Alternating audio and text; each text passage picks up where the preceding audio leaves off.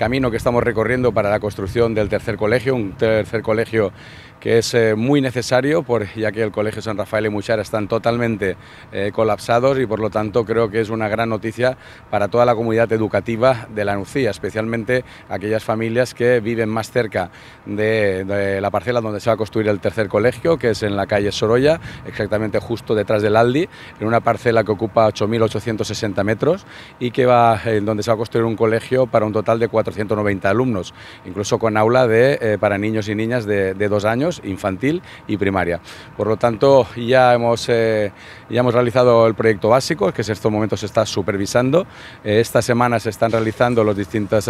pinchazos para tener los datos del geotécnico, para aportar al equipo redactor y de esa forma que redacte el proyecto de ejecución. Calculamos aproximadamente pues, que una vez tengamos el proyecto de ejecución, el plazo de un mes, posteriormente sacar la obra licitación. La inversión total es de 8 millones de euros, financiados 100% por la Generalitat Valenciana. Calculamos que estará aproximadamente ejecutado, eh, adjudicado en torno al verano para poder iniciar las obras físicamente en el último trimestre de este año 2024. Es un día muy feliz para poder transmitir la ilusión que me hace la construcción de este eh, tercer colegio, porque va a suponer la descongestión de los dos centros del Museo de San Rafael, pero también que muchos eh, padres y madres van a poder traer a sus hijos y hijas aquí y no van a tener la necesidad de coger autobuses para desplazarse act actualmente a los centros educativos. Por lo tanto, esto también va a suponer un gran ahorro para eh, la Consejería de Educación. Eh, también me gustaría destacar que eh, gracias a nuestro presidente de la Generalitat, Carlos Mazón, que le ha dado un impulso a este colegio, esto es una realidad.